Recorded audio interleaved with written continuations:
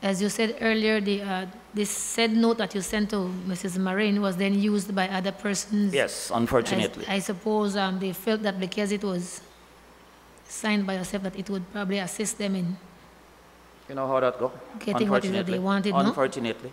um, But it should never have been, because it was never intended that way. And it was given to Ms. Marin directly in the presence of everybody. would you agree, Minister, that, that this could be interpreted as maybe you knew who this person was and you were maybe trying to, I don't think it could be interpreted like that at all. Mr. Roger, Tien was fine with Belize. I don't think Tien was the problem. I think it's the people who he brought or who he was going to bring, etc. At the time, I don't think Tien was the problem. It goes back, uh, and I want you to be frank on it. It goes back to the impression that is created that with a minister's letter, things will happen.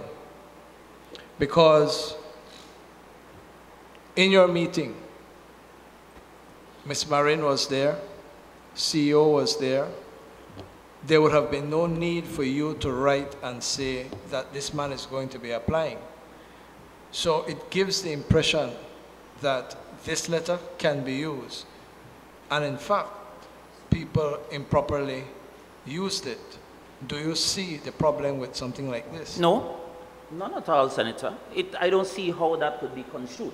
Now, with respect to the Minister of Immigration, myself as Minister Yes. of Immigration, I have authority to do that. Yes. No other minister has that. I say to my staff who's there, we are sitting in this meeting. Here is this gentleman. He's saying, I want to bring some investors. Everybody is there. That's why they're there. To say, well, look, they will be applying, deal with it, and do what has to be done. That is a standard order that would come from any minister to his staff.